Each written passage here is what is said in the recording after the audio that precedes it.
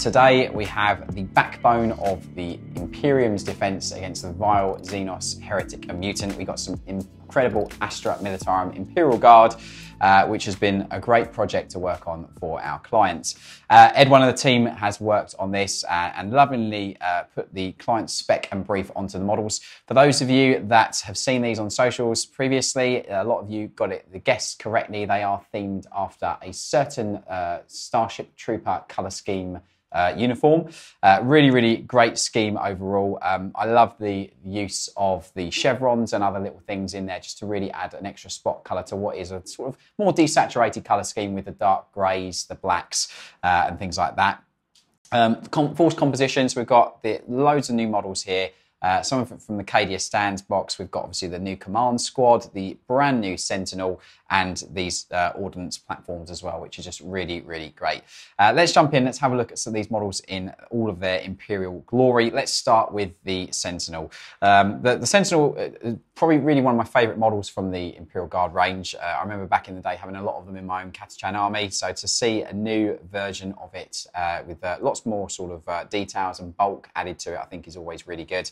Um, I love what's been done with the weathering on these as well. You've got really nice subtle weathering across some of the armor panels and the sort of metallic areas.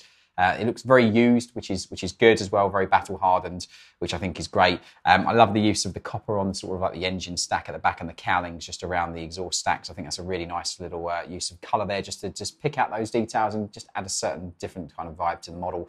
Um, the use of the chevrons on some of the armour panels as well is really nice. I do really like those a lot. I think it just adds a lot to the overall look of the miniature.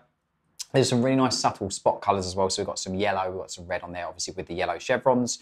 And then at the same time, there's like little yellow uh, sort of like bandings here on some of the missiles um, and obviously little red gems and lenses across the various areas of the models.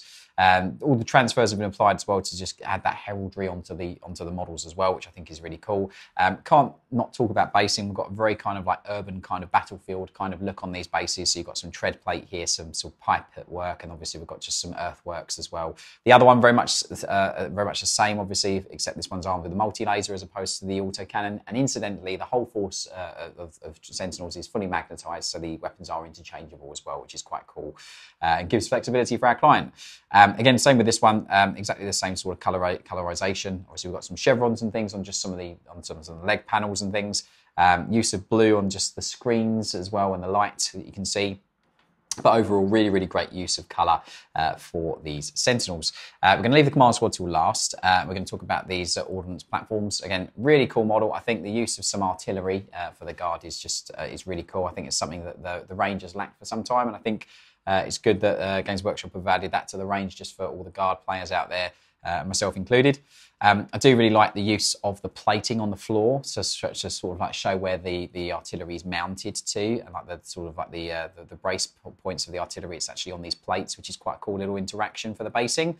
Um, and it just shows a, lot of thought with regards to how it would actually function, which is something that's quite important when it comes to, to modelling, in my opinion.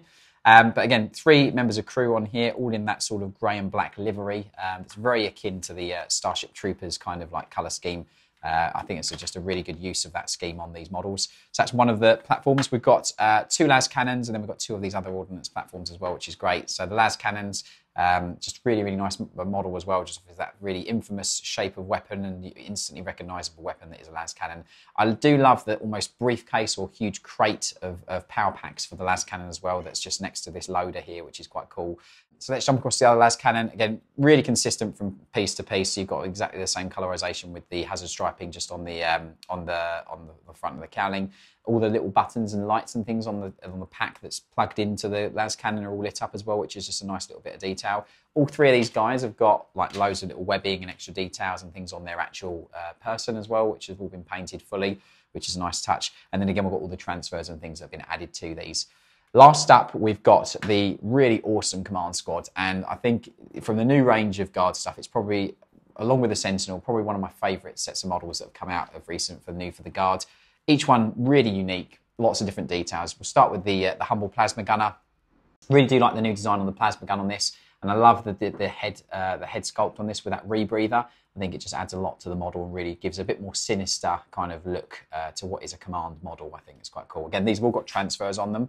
I'm to leave the commander till last. We've got the uh, Master Vox guy here as well with all of his gizmos and bits and bobs that he's got. He's got loads of uh, extra details on the model, the backpack, the, the, the antenna that's obviously around the back. We've got this uh, sort of parchment that's just flowing off the front. That's all been got script on it as well. Ed's done a great job of just doing all that script that's on there.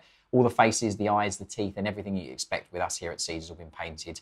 Um, a little bit of tread plate on his base as well, just to show that integration to the actual environment as well, which I think is quite good.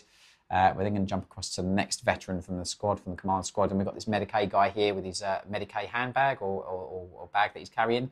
Um, he's got a bit of a balaclava on as well. Maybe doesn't want to give away his identity, but uh, but really really cool uh, sort of sculpt. Uh, I love the new lasgun design as well. I think it's uh, really updating a, a sort of uh, a classic sort of sculpt and classic weapon into a modern modern design, which I think is quite nice. So that's the Medicae guy. We're then going to do have a look at the, the, the banner bearer. And Ed's done a great job of putting some free-handed text onto the banner. So you've got honour and duty, very fitting words for Astra Militarum or Imperial Guard. He's got his uh, lasgun slung across his back and uh, it's a very stoic, very imperial looking pose, which I just think is lovely. Just a really nice uh, overall sort of look of this miniature. Got some barbed wire just on the front of the base as well. Again, really integrating in him into the environment. And uh, last up, we'll have a look at the commander of this force. Really, really stoic pose. Looks like he's scanning for the next hill to take, perhaps, or something like that but just really, really well done. The face and all the details has been done to a really, really stellar level. Uh, so that's just the commander from this force. Really awesome, awesome scheme. Again, nodding to that Starship Trooper kind of black and grey sort of uh, uh, uniform that they have in the film. Uh, great choice by our client. Lots of you got it in the comments that you saw it on our Instagram.